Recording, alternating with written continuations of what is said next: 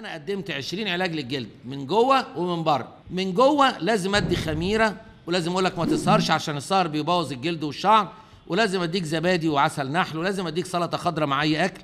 وممكن اديك عرق سوسي اللي بيلحم بره يلحم جوه. احفظ من الدكتور جودة. اللي بيلحم بره يلحم جوه. وقبل ما تعالج الجلد من بره عالجه من جوه. كوباية عرق سوس سخنة بتلحم آه، ال- الأمعاء وتعالج قرحة المعدة وقرح الاثنى عشر والقولون. وتعالج الجرح من بره. لو عندي جرح ما, بيلحمش معلقه عرق سوس الصبح ومعلقه عرق سوس بالليل. اللي يلحم من بره يلحم من جوه وهكذا الخميرة.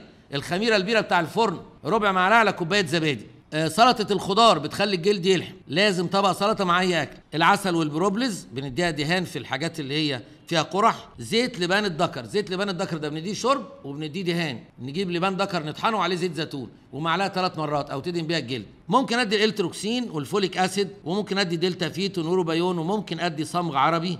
الصمغ العربي بيلحم بره وبيلحم جوه. يعني ممكن أعمل الصمغ العربي معلقة على ربع كوباية مية أشربها وممكن معلقة على ربع كوباية مية وأدعك بيها جلدي. طيب الدهانات اللي من بره بقى. هديك 15 دهان. في دهان اللي هي كبسولة المناعه اللي هو قرنفل ولبان ذكر ومر بطارخ و ده ممكن أحطه دهان؟ آه. ممكن أحط حنة بقرض رهيبة. الجروح اللي بتجيب دم تحطها تاني يوم تلحم ممكن أعمل دهان صبار الصبار عند الناس كلها. من أجمل الحاجات اللي بتروق الجلد. في دهان اسمه دهان قهوة البن السادة.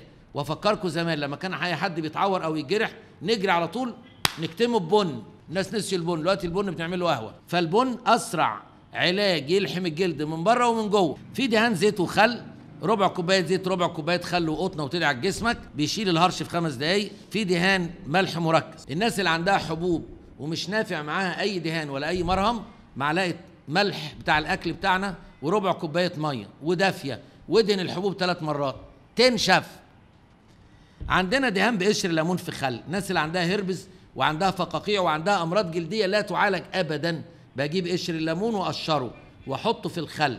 ممكن أنا لو عندي فقاقيع وحتت جلدية مش عايزة تخف بجيب قشر الليمون اتنقع في الخل طول الليل والفه حوالين المناطق اللي مش عايزة تخف وأغطيها بلاستر. يوم اتنين تلاتة كل الأمراض الجلدية بتخف. عندنا دهان صمغ عربي ودهان آه لبان ذكر قلنا عليه ودهان مغلي قرنفل سخن. معلقة قرنفل في كوبايتين مية واغليها خمس دقايق. بقطنة يشيل كل بلاوي الجلد. في طبعا آه زيوت كتير قوي.